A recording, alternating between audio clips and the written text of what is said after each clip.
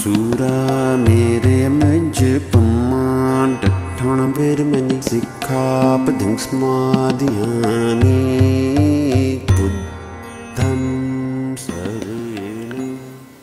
संकीसा या संकसा।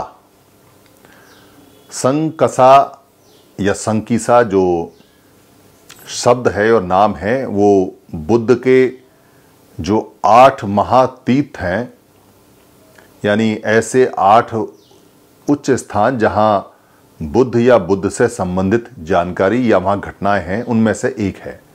विश्व प्रसिद्ध है संकीसा के अंदर, क्योंकि आजकल संकीसा बोलते हैं।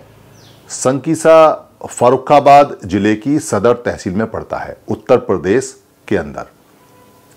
संकीसा पहुँचने के लिए आप यहाँ जो फ़ोन नंबर दिए हैं, उन पर कांटेक्ट कर सकते हैं।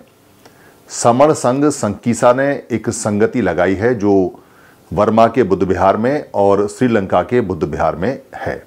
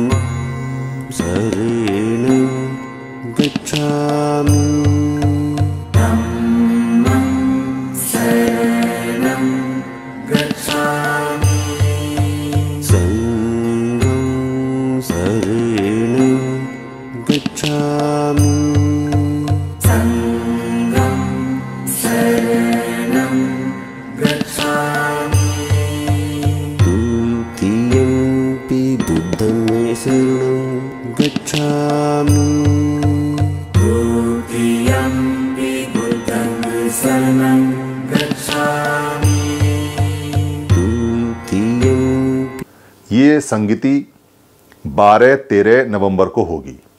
शनिवार, इतवार 2022 इसमें संगति में हिस्सा लेने का जो खर्चा है, वो खुद का खर्चा, खुद के खाने का खर्चा 150 रुपए है।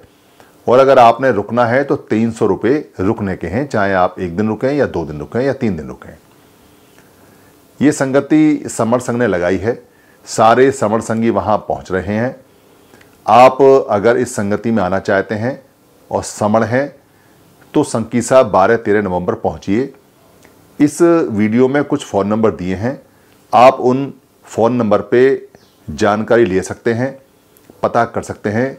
दिल्ली से एक बस जा रही है। कुछ लोगों ने ट्रेन से जाने का मन बनाया है। कुछ लोग अपनी गाड़ी से जा रहे हैं और बाकी सारे लोग वहाँ आसपास आएँगे, क्योंकि ये बुद्ध के जितनी भी घटनाएँ हैं उसमें एक खास घटना जो बुद्ध ने अपनी मरहूम माता महामाया को पढ़ाया, उनको दीक्षा दी, उनको बताया कैसे ये संभव हुआ, कैसे नहीं हुआ, उस घटना के ऊपर आधारित है। सभी लोग जितने हो सकें, जिन्होंने संकीसा देखा है वो भी, और जिन्होंने संकीसा नहीं देखा है वो भी, इस अवसर को ना गंवाएँ और सभी लोग वहाँ पहुँचें। इससे अच्छा मौका और नहीं मिलेगा।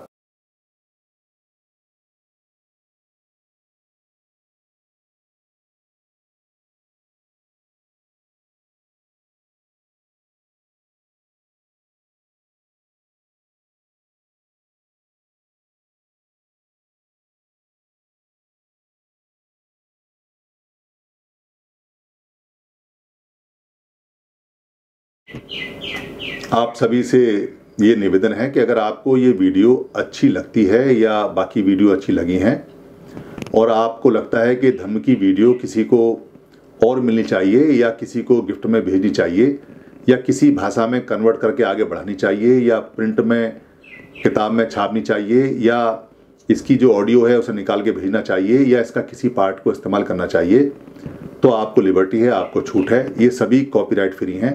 आप अपने फेसबुक पे, अपने पेज पे, अपने ट्विटर पे या अपने हैंडल पे या लिंक को कहीं भी शेयर कर सकते हैं, कहीं भी चला सकते हैं, आप यूट्यूब पे भी चला सकते हैं, अपने नाम से चला सकते हैं। इसके लिए इजाज़त लेने की या परमिशन ले, लेने की बिल्कुल भी ज़रूरत नहीं है। आप इसको अपना मान के चलाएँ क्योंकि धम्म सबका है। हम जो बताते हैं वो भगवान बुद्ध का है या महापुरुषों का है। उन्हीं की बात को सरल भाषा में बताते हैं। हमारा सिर्फ़ इतना राइट है इस पर कि हम इसको लोड कर देते हैं। बाकी सारी ये पूंजी आपकी है। धन्यवाद। शरणं गच्छामि